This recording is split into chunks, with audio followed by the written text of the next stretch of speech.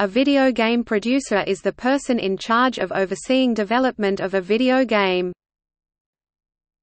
Topic history The earliest documented use of the term producer in games was by Trip Hawkins, who established the position when he founded Electronic Arts in 1982.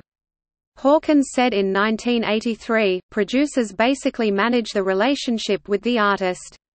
They find the talent, work out product deals, get contracts signed, manage them, and bring them to their conclusion.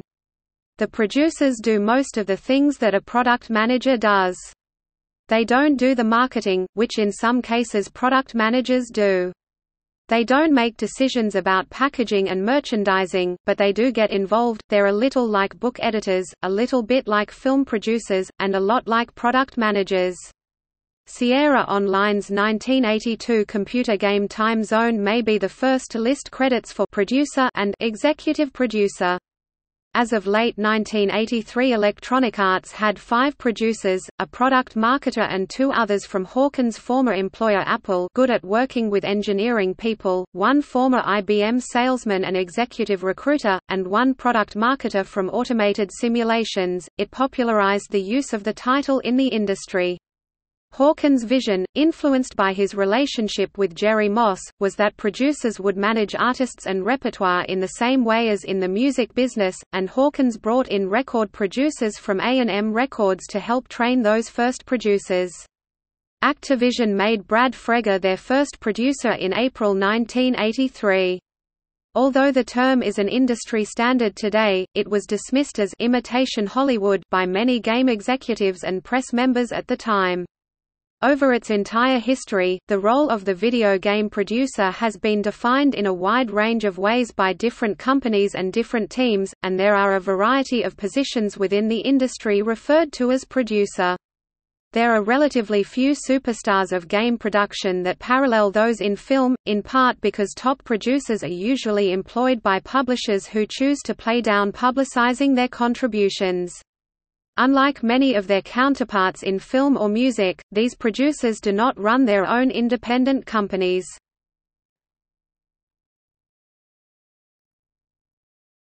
Topic: Types of producers.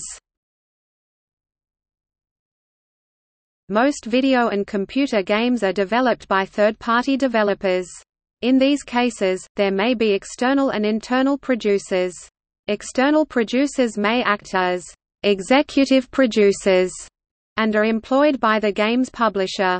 Internal producers work for the developer itself and have more of a hands-on role. Some game developers may have no internal producers, however, and may rely solely on the publisher's producer. For an internal producer, associate producers tend to specialize in an area of expertise depending on the team they are producing for and what skills they have a background in. These specializations include but are not limited to, programming, design, art, sound, and quality assurance. A normal producer is usually the project manager and is in charge of delivering the product to the publisher on time and on budget.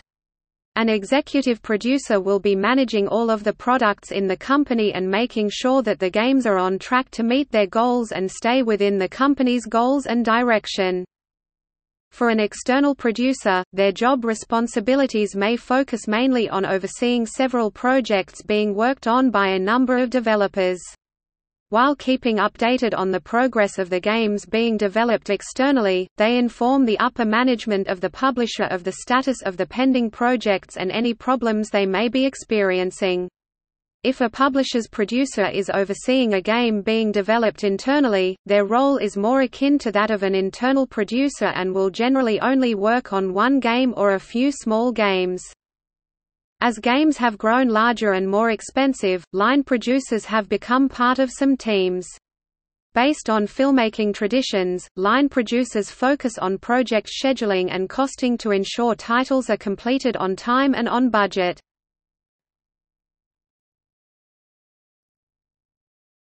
Topic: Responsibilities. An internal producer is heavily involved in the development of, usually, a single game. Responsibilities for this position vary from company to company, but in general, the person in this position has the following duties negotiating contracts, including licensing deals acting as a liaison between the development staff and the upper stakeholders publisher or executive staff. Developing and maintaining schedules and budgets.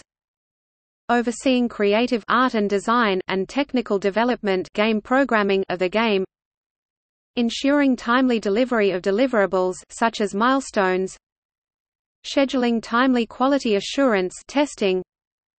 Arranging for beta testing and focus groups if applicable arranging for localization pitching game ideas to publishers and short, the internal producer is ultimately responsible for timely delivery and final quality of the game. For small games, the producer may interact directly with the programming and creative staff.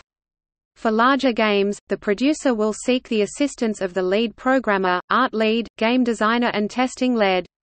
While it is customary for the producer to meet with the entire development staff from time to time, for larger games, they will only meet with the leads on a regular basis to keep updated on the development status.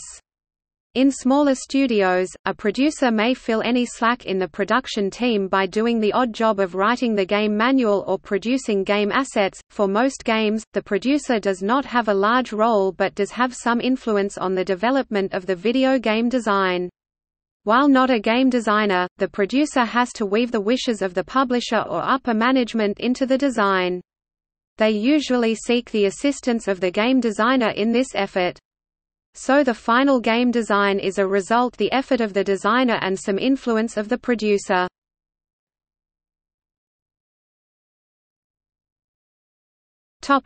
Compensation In general, video game producers earn the third most out of game development positions, behind business marketing, management and programmers. According to an annual survey of salaries in the industry, producers earn an average of USD $75,000 annually. A video game producer with less than three years of experience makes, on average, around $55,000 annually. A video game producer with more than six years of experience makes, on average, over $125,000 annually. The salaries of a video game producer will vary depending on the region and the studio.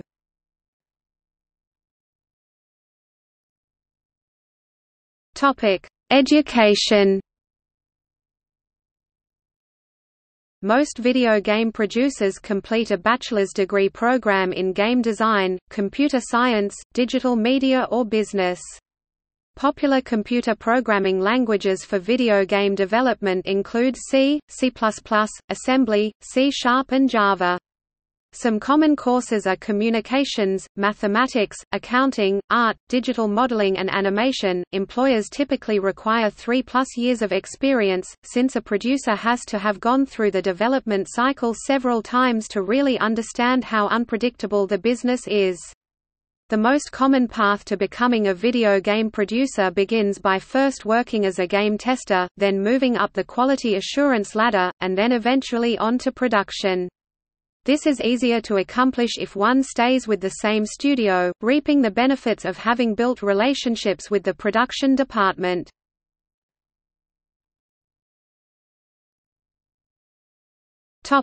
See also List of video game producers